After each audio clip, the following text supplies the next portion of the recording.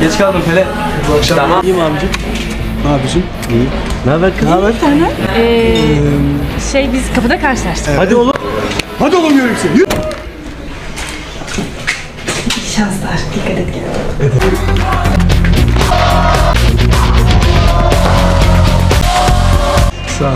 Susuzluğumun ilacı sağ diyorsun. Sonra tekrar.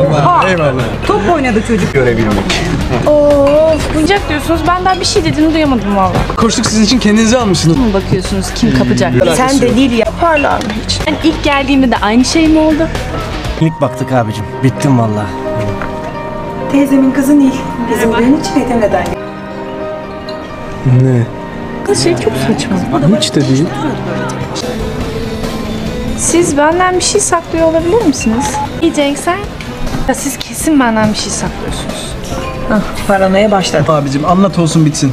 Ya ne oluyor? Kim paranoya? Pelin'e ne oldu? Paranoya değil.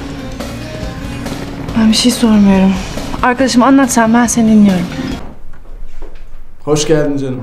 Hoş bulduk. Ne haber? İyidir senden. Oh, açmışız biraları da. E artık yavaş yavaş. Hadi eyvallah. Ne oluyor buna? İyi.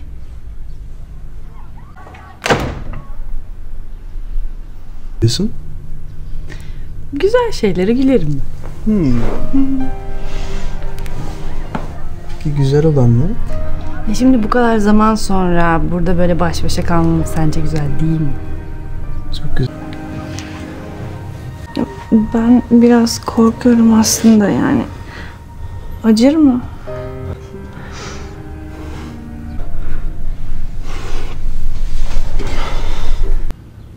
Yani o söylemeyin dedi.